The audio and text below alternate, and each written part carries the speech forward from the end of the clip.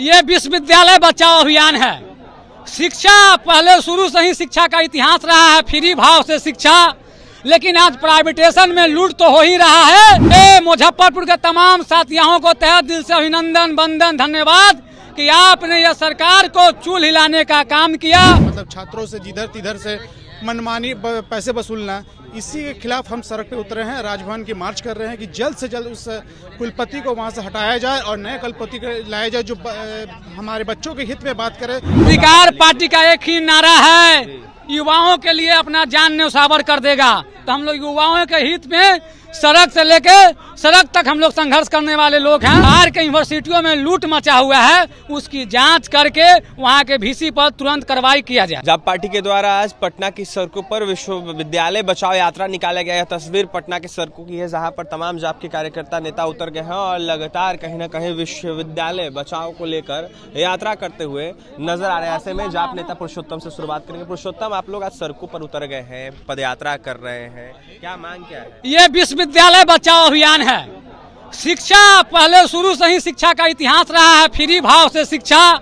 लेकिन आज प्राइवेटेशन में लूट तो हो ही रहा है लेकिन बिहार के तमाम विश्वविद्यालय में भ्रष्टाचार परचम पर है। ये मुजफ्फरपुर के तमाम साथियों को तहे दिल से अभिनंदन बंदन धन्यवाद कि आपने यह सरकार को चूल हिलाने का काम किया। बिहार विश्वविद्यालय बाबा साहब भीमराव अंबेडकर में जिस तरह से भ्रष्टाचार चल, चल रहा है उन मुद्दाओं को लेकर हम लोगों को राज्यपाल के पास जाना है और ज्ञापन सौंपना है कि बिहार में विश्वविद्यालय में भ्रष्टाचार चरम सीमा पर है। लगातार पेपर लीक भी हो रहा है इन दिनों सिपाही बहाली। देखिए जन अधिकार पार्टी का एक ही नारा है। युवाओं के लिए अपना जान न्यौछावर कर देगा।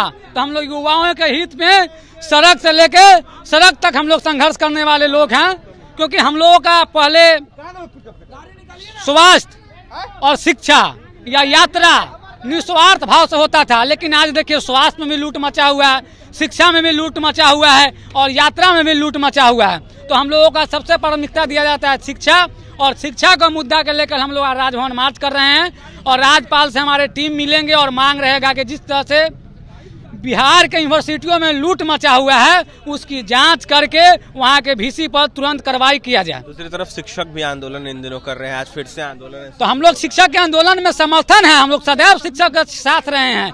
कि आप लोग ईमानदारी से पढ़ाइए लिखाइए। जन अधिकार पार्टी ईमानदारी से आपके पीछे अभ्यर्थी भी आंदोलन कर रहे कह रहे हैं भारी घोटाला हुआ फ़र्स्ट फ़ेज़ की बहाली में। क्या बोले हम लोग? ये छात्र की ही लड़ाई है ना? ये छात्र के लिए संघर्ष है ना? थोड़ा हम अपने घर में दाल जिलाने के लिए संघर्ष है। तो जन अधिकार पार्टी का एक ही नारा है। छात्रों के लिए हम लोग जान भी दे सकते हैं। आंदोलन लगातार जारी रहेगा ऐसे ही आप लोगों का? हाँ हम लोग तो जन अधिकार पार्टी आंदोलन से जाना ही जाता है। सेवादारी और आंदोलन हम लोग का मुख्य प्राथमिकता है पार्टी का। देखिए जाप के युवा नेता पुरुषोत्तम थे ऐसे में कहीं ना कहीं जिस तरीके से विश्वविद्यालय बचाव अभियान चलाया जा रहा है ऐसे में तमाम जाप के नेता कार्यकर्ता उतर गए हैं और लगातार विरोध जो है वो कहीं ना कहीं सरकार के खिलाफ जारी दिखते हुए नज़र आ रहा है। ऐसे में लगातार प्रदर्शन जारी है। जाप के और कुछ नेता है जुड़ेंगे बात करेंगे। लगातार आप लोगों का आंदोलन जारी है। सड़कों पर उतर गए हैं आप लोग। छात्र क्या नेता, छात्र मांग नेता। क्या है देखिए ये सारे सवाल आप छात्र नेताओं से पूछिए। हमारे तिरहुत के जो अध्यक्ष हैं आप उनसे इसके बारे में बात क्या मांग क्या है क्यों सड़कों पर आप बिहार विश्वविद्यालय दलालों और भ्रष्टाचारियों का अड्डा बन गया है जिस तरीके से विश्वविद्यालय के कुलपति द्वारा अपने चहेते लोगों को विश्वविद्यालय में सभी प्रकार की जो टेंडर प्रक्रिया होती है वह देने का काम किया गया है। विश्वविद्यालय दलालों से भरा हुआ है विद्यार्थियों का शोषण होता है फेल विद्यार्थी को पास करा दिया जाता है पास विद्यार्थी को फेल करा दिया जाता है। मार्कशीट का मार्कशीट पर कुछ और नंबर आता है टेबुले, टेबुलेशन रजिस्टर पर कुछ और नंबर आता है और कॉपी पर कुछ और नंबर आता है। कुल मिलाकर विश्वविद्यालय भ्रष्टाचारियों के गोद में बैठा हुआ है बच्चों का वहाँ शोषण होता है। यह लड़ाई विश्वविद्यालय को भ्रष्टाचार से मुक्त कराने के लिए है यह लड़ाई विश्वविद्यालय को दलालों से मुक्त कराने के लिए है यह लड़ाई विश्वविद्यालय को बचाने के लिए है। यह लड़ाई बाबा साहेब के जिन सपने को साकार करने के लिए उनके नाम पे विश्वविद्यालय की स्थापना किया गया है उसके उ- उसको बचाने के लिए है। यह लड़ाई विद्यार्थियों के बेहतर भविष्य को बनाने के लिए है। शिक्षा व्यवस्था खराब हो गया है ऐसे में विश्वविद्यालयों में धांधली हो रही है लगातार लाखों लाख बहालियाँ हो रही है विश्वविद्यालय के विश्वविद्यालय थाना में दस बाई तेईस कांड संख्या दर्ज है कि किस तरीके से वहाँ के कुलपति करोड़ों रुपए की गबन करने का काम किए हैं।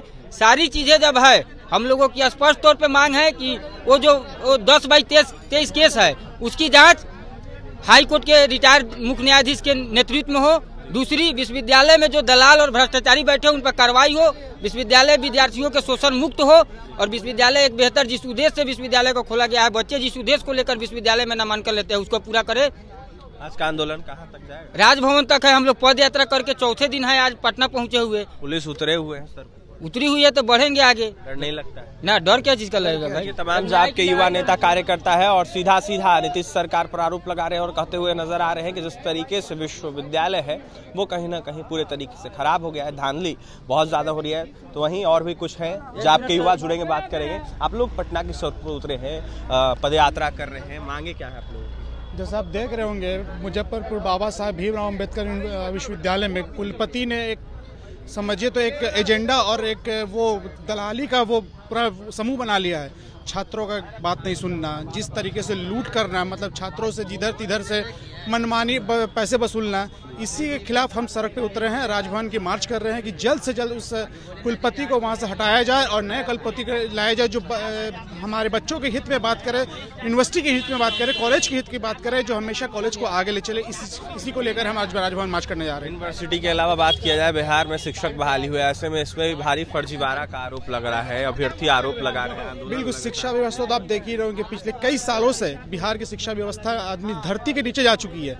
इसी को उठाने के लिए हम जनाधिकार पार्टी के सारे तमाम कार्यकर्ता छात्र के आज सड़कों पर हैं। देखिए, ये तमाम युवा हैं और कहीं ना कहीं सीधा सीधा नीतीश सरकार के खिलाफ मोर्चा खोले हुए हैं। सीधा सीधा मांग कर रहे हैं कि जिस तरीके से विश्वविद्यालयों में फर्जीवाड़ा हो रहा है और गलत तरीके से काम हो रहा है, उसको रोका जाए। तो वहीं इसको लेकर आज पटना की सड़कों पर राजभवन हाट का आयोजन किया गया। ऐसे में पटना की सड़कों पर चलते चलते तमाम जो युवा हैं, जाप के, वो कहीं ना कहीं देखा जाए तो राजभवन जाएँगे और राज्यपाल को ज्ञापन सौंपेंगे। तो वहीं क्या कुछ कहना जाप के तमाम युवाओं का? आपने सुना है और भी तमाम खबरों के लिए एनसी ट्वेंटी के साथ बने रहे। पटना से सहयोगी अमित के साथ अभिषेक।